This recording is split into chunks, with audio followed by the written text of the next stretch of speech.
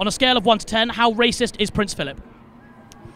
Eight. I'm afraid the answer is 7 there. Never use the N word in public. Okay, fine. All you need is love and 40,000 police officers and 2 billion spectators. But just how gullible are royal lovers? We're here at the royal wedding and welcome to Archie Asks. So we're on Norway TV here. What's Meghan, your Harry, you're going to love this. My name's Archie. Archie. Asks. Mis- Archie Mr. Asks. Altså, man møter Archie Asks her. Rumour this morning is of where they're going on honeymoon. Gaza, interesting place. Do you think that's going to be a romantic place to go?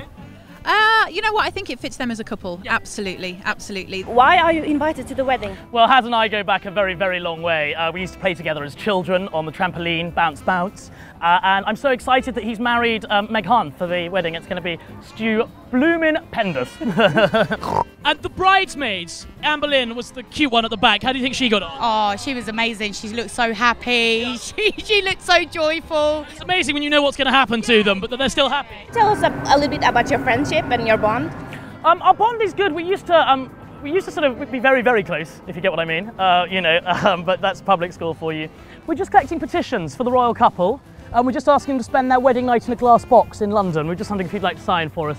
Just be quite fun if they spent their first night together in a glass box. We could all watch. Yeah, just a petition to ban the monarchy. Thank you so much. But just in a glass box would be quite nice, wouldn't it? We can all see them at it. Just give us a flag wave. Yeah, let's get rid of them. Ten questions to win a thousand pounds. Number one, what is the name of the bride today? Meghan Markle. Correct, very good. How old is Prince George? He is five. He's not, I'm afraid. Eight is the answer we were looking for there. I do apologise. Right. Prince George is not. You, your questions are wrong. It's just a petition for an absolute waste of time. There we are. Thank you very much. Um, I would like you to spell the word Kensington for me. Go. I'm afraid we have to go with what we've got written down, I'm afraid, from BBC. K E N S I N G T O N. I'm afraid that's incorrect. The answer is K E N S I N G T O N. That's what I just said. Prince, sorry, Prince George is eight. No way. Yes, he is. No way.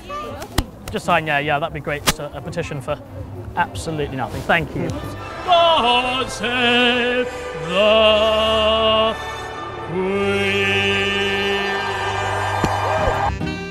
I'm going to the wedding now. I can do Spanish. You yeah, can yeah, yeah, yeah. Oh, yeah. ¿Por qué hablas español? Eh, español es el dedo, que yo tengo la más junta, Meghan Markle, eh, España estoy, eh, eh, eh, moche, moche, moche, bom, bom, eh, don la noire, ya, ya, ara, piu, piu, piu. Sí. Muy bien.